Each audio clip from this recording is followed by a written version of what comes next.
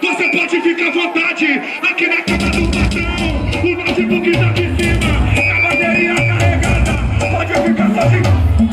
Aqui dentro na, ali na primeira gaveta.